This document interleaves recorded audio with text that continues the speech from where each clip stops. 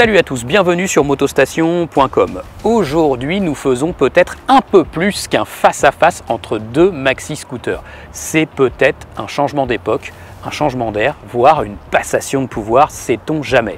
Puisque nous opposons aujourd'hui le tout nouveau BMW CE04 homologué pour les permis à 2 et 100% électrique et l'iconique Yamaha T-Max 560 Tech Max homologué pour les permis à 2 et 100% thermique.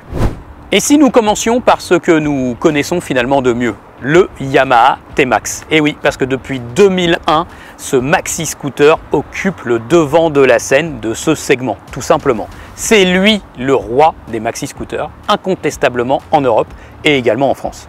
Depuis le début, la recette est quasiment la même. La recette technique, euh, j'entends bien un moteur bicylindre très incliné euh, vers l'avant, très compact, une architecture avec un châssis finalement très typé moto. Hein. Le moteur est solidaire du cadre du T-Max. Le parti bras oscillant à l'arrière et transmission est dissocié du moteur. C'est un peu comme sur une moto en définitive. Donc le scooter ne se soulève pas beaucoup à l'accélération et il a un comportement très constant en virage. Un train avant qui rappelle évidemment l'univers moto. C'est ce qui a fait son succès à ce maxi scooter. C'est le premier maxi scooter qui a vraiment plu aux motards. Alors je ne vais pas vous refaire tout l'historique du T-Max, ce serait vraiment bien trop long, mais finalement pour résumer, euh, il n'a cessé de gagner en cylindrée, de fait de gagner en puissance, de gagner évidemment en performance, il a élevé son niveau technique, son niveau d'équipement et puis son prix a suivi finalement. Donc ça reste évidemment le top des maxi scooters, le mieux équipé, le plus performant si on peut dire, d'un point de vue ratio entre la partie cycle et le moteur. En fait, cette version Tech Max représente 75% des ventes et pourtant c'est la plus chère. Donc en définitive, quand les clients veulent un T-Max, ils veulent le top. Tant pis s'ils y mettent le prix. Les dimensions tout d'abord, c'est un maxi scooter qui est assez généreux, hein. il prend de la place euh, sur la chaussée. On le remarque aussi quand on l'enjambe ce scooter. Il a un tunnel central qui est vraiment très imposant. La selle est également très large, mais on découvre ensuite une position de conduite naturelle, confortable, qui convient à peu près à tous les gabarits. Attention quand même, hein, avec cette assise très large, cette largeur générale, on a un petit peu de mal à poser les pieds au sol quand on mesure moins d'un mètre 70. Sinon, la place à bord, elle est top. Et mention spéciale pour l'accueil du passager, ça fait partie de ses points forts. C'est très confortable à l'arrière. Toujours à citer parmi ces points forts, euh, il faut souligner bien sûr la qualité de présentation et la qualité générale de fabrication. C'est depuis de longues années devenu un point fort du T-Max. Les peintures, l'ajustement, la visserie, tout ce qui habille ce scooter, c'est hyper qualitatif. En fait, il n'y a aucun autre maxi scooter qui peut rivaliser avec un T-Max peut-être à la limite chez Honda avec le XADV et le Forza 750. Cette version Tech Max est évidemment suréquipée. Il n'y a pas d'option, tout est en série. On a donc les poignées chauffantes et le siège chauffant, la bulle réglable électriquement, elle apporte une superbe protection et elle peut monter très très haut. On a aussi un tableau de bord TFT couleur très lisible et dont le fond peut varier et être changé en fonction de vos envies et de votre humeur. Ça ne sert pas à grand chose, c'est un petit peu gadget. Il y a bien sûr les assistances à la conduite, le traction control, l'ABS, deux modes moteur. Et puis il faut reconnaître que tout cet ensemble est très cohérent. La motorisation, 560 cm3, bicylindre parallèle, très incliné vers l'avant, équipé d'un balancier d'équilibrage qui va enlever toutes les vibrations. Il y a très très peu de vibrations sur ce maxi scooter, même si c'est un bicylindre. Et puis c'est un moteur qui a su se faire un petit peu discret. Ok, c'est un thermique. Les T-Max sont régulièrement pointés du doigt. Mais ça, c'est quand on met un échappement adaptable non homologué. De série, c'est un moteur thermique, forcément on l'entend, mais le niveau sonore est quand même très faible. Ce moteur est quand même bourré d'agréments. Hein. Il est souple, il est très disponible là-bas et à mi-régime. Il a su se faire plus discret aussi sur autoroute quand on roule à allure euh, soutenue à 130 km/h. Il tourne toujours un peu vite, mais Yamaha a amélioré cela au fil des évolutions de ce modèle. Donc c'est vraiment un moteur qui procure du plaisir, un petit peu de sensation sportive aussi à l'accélération. Hein. Le T-Max a toujours été ça. Attention, hein, pendant longtemps on a cru que le T-Max ça accélérait super fort. Bah non, il suffit de le comparer à d'autres maxi scooters, par exemple les deux Honda 750, même la K550 chez Kimco, pour se rendre compte que c'est surtout de l'image, parce que le T-Max ne vole pas la vedette aux autres maxi-scooters du marché. Particycle, là aussi, il y a un sacré level. Hein. En fait, des très très bonnes liaisons au sol, une superbe fourche inversée, un double disque de frein avec des étriers radio. Vraiment, c'est très très bon composant. Hein. En fait, il y a des motos qui sont vraiment moins bien suspendues qu'un Yamaha T-Max. Ça tient la route, c'est précis, ça digère bien les bosses, le passager est bien loti, il a pas mal au dos, il ne prend pas de coups de raquette sur les dos d'âne.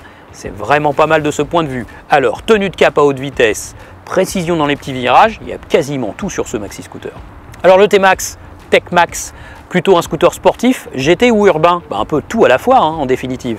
Sportif dans son esprit, et puis oui aussi par ses capacités dynamiques, mais finalement très GT. La bulle réglable, on la met en position haute, on a les poignées chauffantes, la selle chauffante, il y a du confort, on peut commuter sur l'autoroute euh, en étant protégé de la pluie.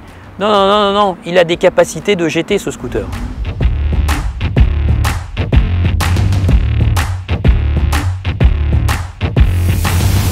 Évoquons maintenant le tout nouveau CE04 de chez BMW. Alors là, vraiment, c'est un ovni. Hein. Il suffit de voir l'allure générale de ce scooter. On ne peut pas le confondre avec aucun maxi scooter du marché et c'était la volonté de BMW, tout simplement parce qu'il prend la suite du BMW C-Evo 100% électrique qui lui était un petit peu trop discret hein, euh, dans la circulation.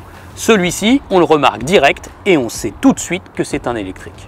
Qualité de présentation, finition, bah, c'est vraiment pas mal. Hein. On a plutôt des belles peintures, des ajustements proches du parfait, un très beau tableau de bord TFT couleur 10 pouces 25 qui est extra large. Donc globalement, c'est très très bien.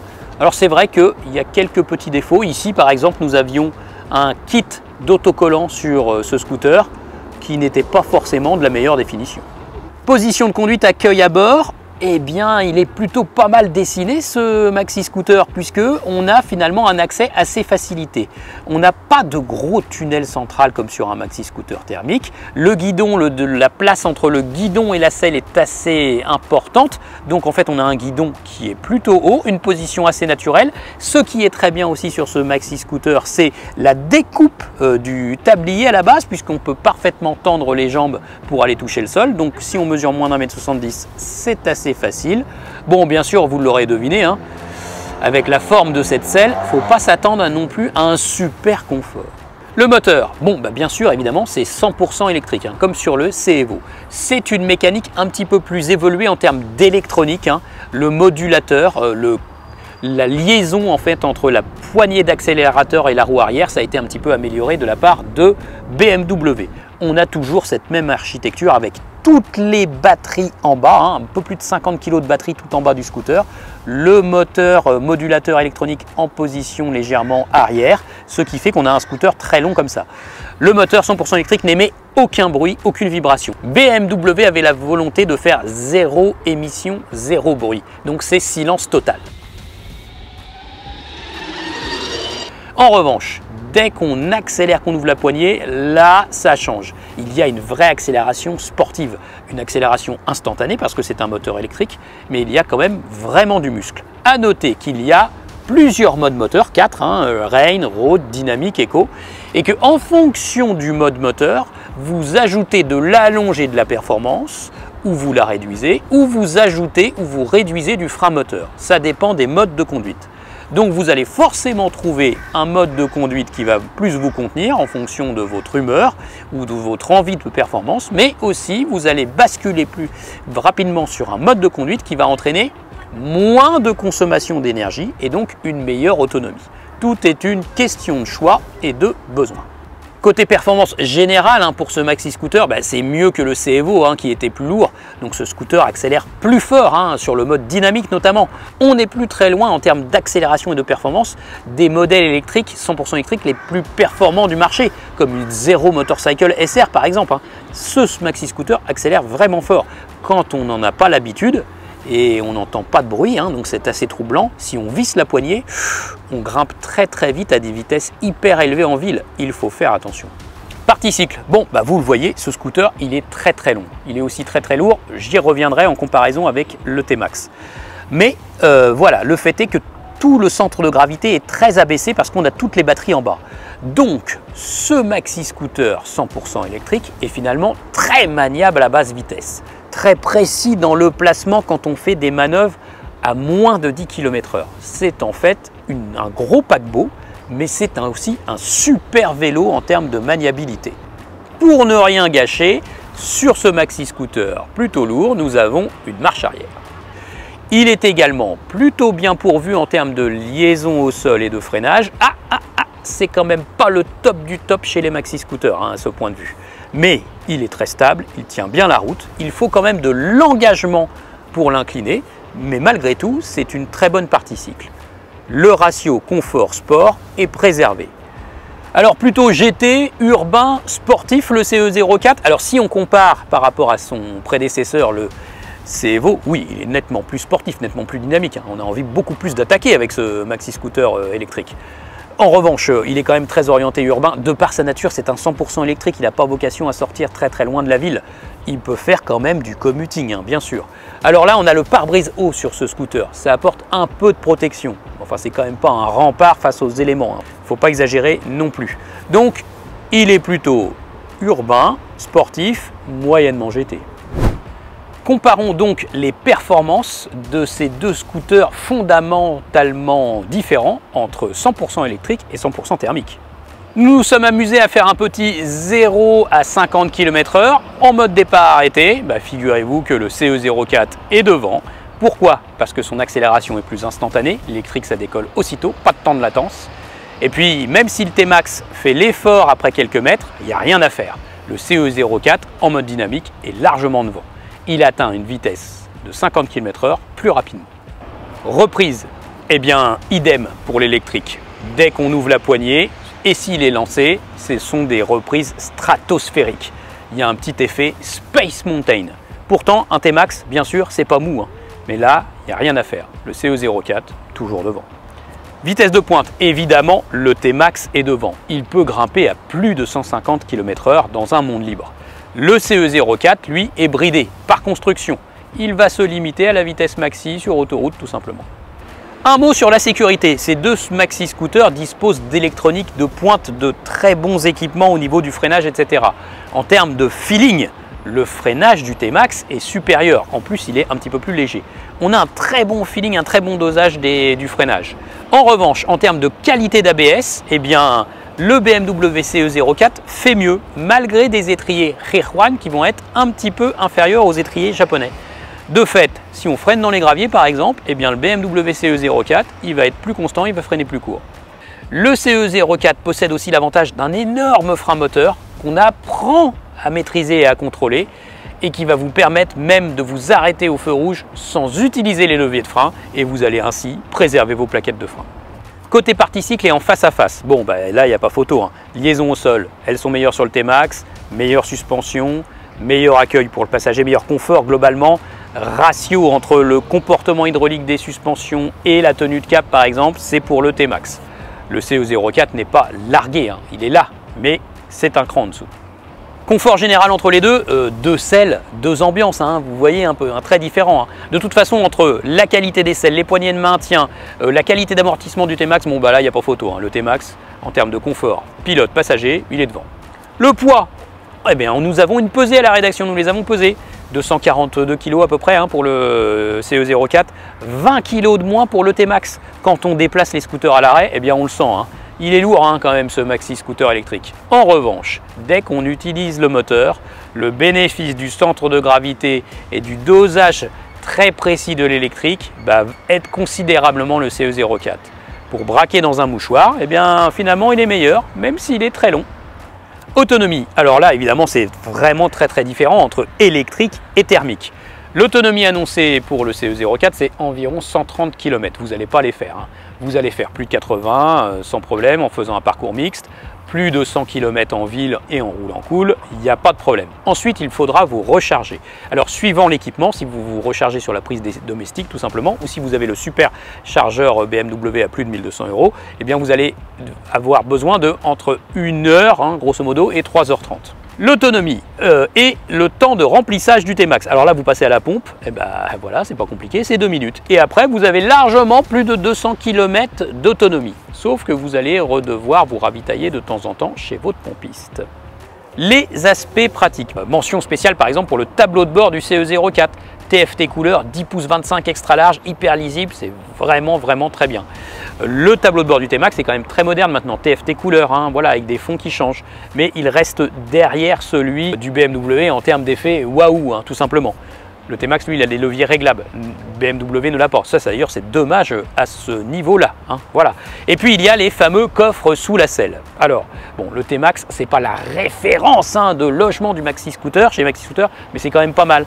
On met un casque à l'envers et puis bah, il y a quand même encore de la place pour mettre d'autres petites choses. C'est très alambiqué, très particulier sur le CE04 avec ce coffre qui est juste sous euh, les, entre les jambes du pilote. Pas toujours facile d'y ranger un casque modulable par exemple. Il faut contorsionner un peu, euh, trouver la place et l'orientation de ce casque. C'est pas terrible sur ce CE04. En revanche, ce qui est appréciable si on a un frein de parking sur le T-Max, c'est le frein à main automatique qui est coordonné avec la béquille latérale. C'est plutôt pas mal. Bon évidemment, hein, c'est dans l'air du temps, sur ces deux scooters, on va avoir des prises USB, une prise 12 volts, bref de quoi recharger euh, son smartphone par exemple. On a évidemment les warnings sur les deux maxi scooters et puis il y a des rétros à des hauteurs assez différentes. Alors attention, hein, dans l'interfile, suivant si on se rapproche d'un SUV ou d'une berline, les deux scooters euh, peuvent euh, avoir des petits problèmes entrechoquer leur rétroviseur. Rien n'est parfait à ce niveau. Concernant la rétrovision, on va donner une petite avantage au T-Max qui a des rétros un peu mieux foutus, on va dire. Éclairage full LED hein, sur les deux. Attention hein, à préciser sur euh, le CE04, on a euh, seulement deux petits clignotants qui font également feu stop et qui sont très très bas. Est-ce que ça va être bien vu euh, ça dans la circulation par par exemple les propriétaires de SUV qui sont très élevés à l'arrière? Ah, On n'en est pas sûr. Hein. Et puis ces deux maxi scooters sont différents aussi parce que le T-Max possède un régulateur de vitesse qui peut être pratique en commuting sur l'autoroute. C'est le moment évidemment de vous parler du nerf de la guerre, le prix de ces maxi scooters. Alors le T-Max 2022 560 Tech Max est arrivé un petit peu en dessous des 15 000 euros hein, en prix de lancement. Et eh ben, ça y est, il les dépasse. Il est à 15 099 euros selon la dernière mise à jour du prix de Yamaha. Garantie 2 ans, homologué pour les permis à 2. Ça y est, il dépasse 15 000 euros. C'est quand même hyper cher pour un maxi scooter. Et bien sûr, s'ajoute à cela hein, le prix des révisions, bien sûr, ça c'est normal, mais il y a aussi le coût du carburant parce que là on est sur un thermique. Alors on est en 2022 hein, et le litre de samplon 95 c'est au moins 2 euros le litre. Hein, voilà. Donc si on prend euh, un calcul très basique, il y a 52 semaines dans l'année, euh, on fait un plein par semaine pour faire ces petits trajets euh, du quotidien. Bon, grosso modo, ça peut nous emmener à 1560 euros de carburant à l'année, à minima bien sûr. Ça va plutôt atteindre les 1800 euros. Ça, il faut le prendre en compte aujourd'hui quand on achète un scooter thermique. CE04, le prix, ça commence à 12 150 euros pour cette version homologuée permis à 2 garantie 3 ans. En revanche, celui que vous voyez ici, avec tous ces packs d'options et, ces euh, euh, petits équipements, comme la sacoche euh, latérale que vous voyez ici, grimpe à 15 309 euros. Donc finalement, un peu plus cher que le T-Max, même si les deux constructeurs se battent à coups de LOA, c'est terrible, hein, bien sûr. Hein. En revanche, bien sûr, là, attention, c'est un fonctionnement électrique, il n'y a quasiment plus de révision, quelques contrôles chez le concessionnaire, pas de vidange, pas de filtre à huile, voilà. On va juste changer les pneus et les plaquettes. Les plaquettes pas trop souvent grâce au frein moteur, donc l'entretien est réduit. Et puis bah, on ne passe plus à la pompe, ça nous coûte quelques euros finalement chaque semaine pour le recharger. Conclusion bah, générale, alors là bon bah on a deux mondes d'écart, hein. c'est très très différent. 100% électrique, 100% thermique, une icône du marché des maxi scooters, le nouveau venu qui veut se faire une grosse place, là c'est vraiment très très différent que pouvez-vous choisir? Alors ça déjà, ça va vraiment dépendre de votre usage. Vous êtes un urbain, un périurbain mais proche de la ville. Vous avez des possibilités de vous recharger chez vous au domicile, après de votre bureau ou carrément dans le parking de votre travail. Bon, eh bien, le CE04, il a clairement du sens. En plus, vous n'irez plus jamais chez votre pompiste et puis on peut le parier, hein, l'essence, ça va ne faire qu'augmenter. Donc là, ce CE04, ça a vraiment du sens. Surtout que à l'avenir, on ne sait pas, mais dans les grandes villes, la place des voluaux thermiques va sans doute se réduire de plus en plus. Le T-Max, par contre, bah, lui, il conserve finalement beaucoup de polyvalence. hein. Pourquoi? Bah, Parce que grâce à son moteur thermique, on peut vraiment sortir de la ville. Si vous habitez plus loin, 50 km par exemple, de votre lieu de travail, bah, pas de problème, vous allez prendre l'autoroute, vous aurez fait votre plein, vous allez aller jusqu'à votre boulot, vous allez revenir sans problème. Et puis le dimanche venu, vous voulez partir pour la journée, faire un bon road trip à deux dessus pour faire 300 km et aller manger quelque part dans un bon petit resto, il n'y a pas de problème, le T-Max, ça va le faire. Il est aussi fait pour ça. Il reste évidemment très polyvalent. Reste que maintenant, bien sûr, il faut l'entretenir davantage et puis mettre, bien sûr, du sans-plomb. Sur Motostation, on essaye toujours de vous dire hein, les plus, les moins des véhicules, les opposés, etc. Faire un bilan complet des véhicules. Et puis bah, il y a aussi les coups de cœur hein, finalement. Ben, moi j'ai passé deux jours avec ces véhicules, ben, je peux vous dire en fait finalement, le T-Max ça reste un super outil, on sait tout faire avec, il, est multifacette ce maxi scooter, ben, moi je vous le dis, c'est daté. Pour moi, je pense que pour un usage vraiment urbain et quotidien, c'est fini le thermique. Je pense qu'on va tourner la page très très vite. Et vous allez voir, en très très peu de temps, le maxi scooter électrique va s'imposer. Pourquoi? Bah, Il ne dérange pas les autres, il ne fait pas de bruit, on ne rejette rien. Je ne dis pas qu'il est plus vertueux, hein. bien sûr, on le sait. La fabrication d'un véhicule électrique, c'est loin d'être l'idéal en termes euh, d'écologie, hein, bien sûr. Mais à l'usage, bah, aujourd'hui ça a du sens. On est dans une société où on ne veut plus agresser les autres, on veut faire moins de bruit. Les véhicules de roues motorisés qui sont trop bruyants sont pointés du doigt. On sait qu'on va être mis hors des villes à cause de cela. Donc non, hein, l'orientation du marché, c'est sûr, ça va tourner vers le CE04. Et c'est vrai qu'en termes de plaisir de conduite, eh ben moi je vous le dis, c'est vraiment pas mal. Essayez les deux et donnez-nous votre avis dans les commentaires sous cette vidéo.